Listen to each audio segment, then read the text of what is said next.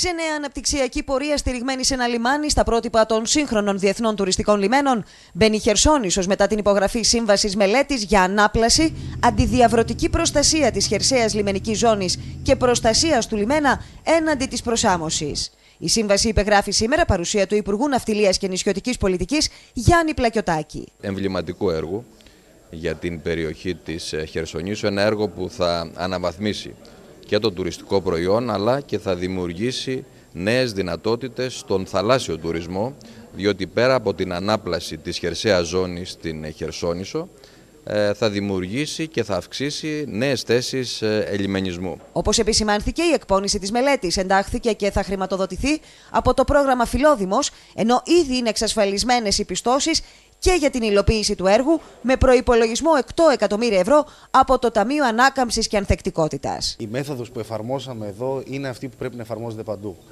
Ε, όριμα έργα, ενταγμένα έργα και επομένως ε, αυτό που έχουμε να πούμε ότι ο σχεδιασμός της κυβέρνησης για την Κρήτη στο κομμάτι των λιμενικών υποδομών και όχι μόνο προχωράει συνταγμένα. Το στίχημα είναι μεγάλο και σε συνεργασία με τα σταλέχη της υπηρεσίας μας αλλά και την αρχαιολογία ευελπιστούμε ότι αυτό το έργο θα γίνει πολύ σύντομα ορατό και θα πάρει σάργα και οστά. Ένα σημαντικό έργο το οποίο θα οδηγήσει σε μια τουριστική όθηση την περιοχή μας. Το Υπουργείο Ναυτιλίας μέσα από ένα ολοκληρωμένο σχεδιασμό με μια, μέσα από μια εθνική στρατηγική για την ανάπτυξη του νησιωτικού χώρου διαπραγματεύτηκε με την Ευρωπαϊκή Επιτροπή και εξασφάλισε πόρους πάνω από 200 εκατομμύρια ευρώ και από το Ταμείο Ανάκαμψης αλλά και από το ΕΣΠΑ στην υλοποίηση και αναβάθμιση των λιμενικών υποδομών της χώρας αλλά και ε, σε έργα αντιδιαβρωτικά όπως είναι αυτό της, ε, στην Χερσόνησο. Συνολικά σε επίπεδο Κρήτης έχουν χρηματοδοτηθεί δράσεις αναβάθμισης υποδομών αναπλάσης χερσαίες ζωνών